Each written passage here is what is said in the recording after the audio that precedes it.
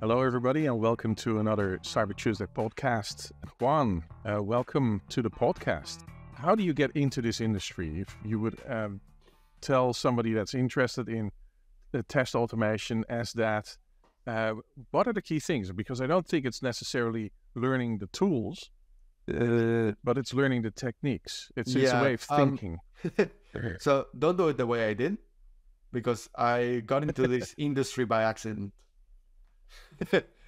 Uh, but yeah, so I think it needs to be knowing the tools, having the the coding yeah. skills, and then also having the learning the techniques around just the testing side of things, because it's not yeah. enough to create a script that automates a web page.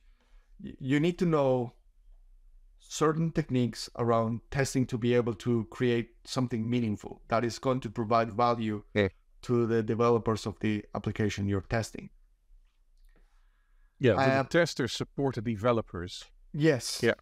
But also, to me, one important thing is um, knowing how to build the application.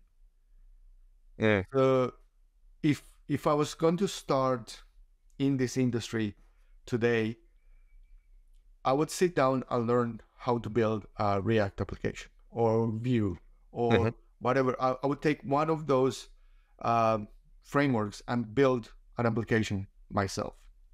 Yeah, because I need to I I need to understand how things work from a developer point of view. And you then, need to know how as, developer thinks, how yes, they solve problems. Yeah, exactly. And then as I'm building that application for my own project, then start incorporating all these testing tools and uh, techniques.